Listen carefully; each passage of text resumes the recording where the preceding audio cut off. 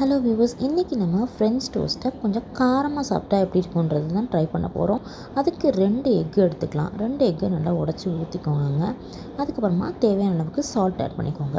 Salt add பண்ணதுக்கப்புறமா உங்கள்கிட்ட noodles mix ஏதாவது இருக்கும் இல்லையா? நூடுல்ஸ் மிக்ஸோ இல்லைனா ஏதாச்சும் ஒரிகேனோ சீசனிங் இருக்கும் இல்லையா? அதை கூட போட்டுக்கலாம்.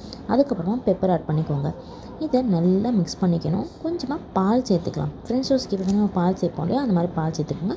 கொஞ்சம் சீஸை நான் கட் பண்ணி வச்சுருக்கேன். அதையும் இதோட ஆட் பண்ணிக்கிறேன்.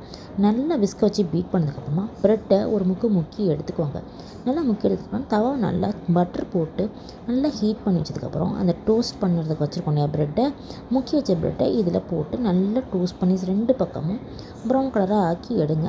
இந்த மாதிரி நீங்கள் பண்ணி பாருங்கள் அந்த சீஸி அண்ட் மில்க் அண்ட் அந்த எக்கோட டேஸ்ட்டோட இந்த பட்டரோட டேஸ்ட்டோட இந்த மாதிரி ஃப்ரெஞ்ச் டோஸ்ட் செம்ம எம்மி டேஸ்டியாக இருக்கும். இதை வந்து நம்ம வந்து டொமேட்டோ கெச்சப்போட சர்வ் பண்ணலாம். ரொம்ப ரொம்ப ரொம்ப சூப்பராக ஹெல்த்தியான ஒரு பிரேக்ஃபாஸ்ட் இந்த மாதிரி ஒரு தடவை ஃப்ரெண்ட்ஸ் டோஸ் ட்ரை பண்ணி பாருங்கள் தேங்க்யூ ஃபார் வாட்சிங் my channel please subscribe and support thank you